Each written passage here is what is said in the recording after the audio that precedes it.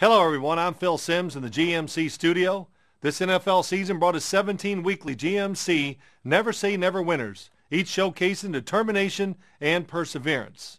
As we select the GMC Never Say Never moment of the year, we take you on location to our set inside the NFL experience at Super Bowl 45 for a closer look at one of the year's top Never Say Never moments when the Eagles sealed a miracle comeback.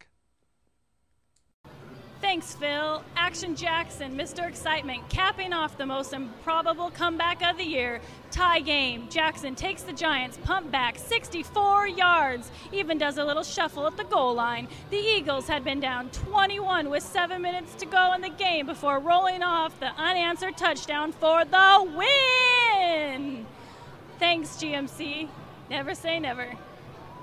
Well done. No question that was one of the season's best. Check out NFL.com backslash GMC to see who won the Never Say Never Moment of the Year.